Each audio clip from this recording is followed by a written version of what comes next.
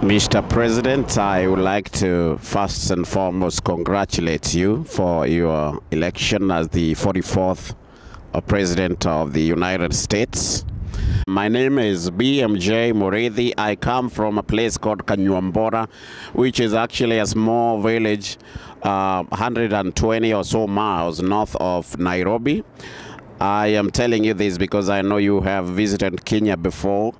Uh, try to think about the following uh, in relation to to Africa. There is um, a very popular Swahili saying that says that uh, he who forgets his roots is actually a slave.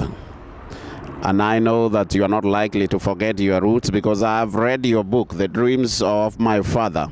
I'm not expecting too much to come from you because I know that the wish list from other people is uh, overwhelming. Everybody wants you to do this, that, or the other.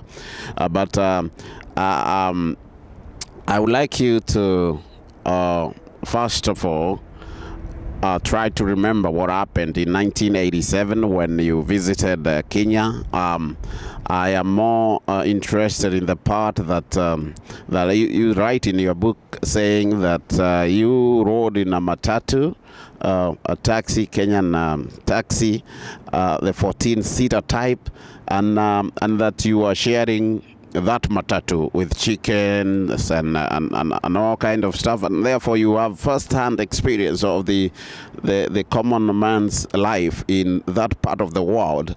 And also in uh, 2006 when you visited uh, Kenya you had an opportunity to to to walk around Kibera which is the biggest uh, slum uh, I believe in Africa and um, and you saw firsthand the kind of life uh, that people are leading there.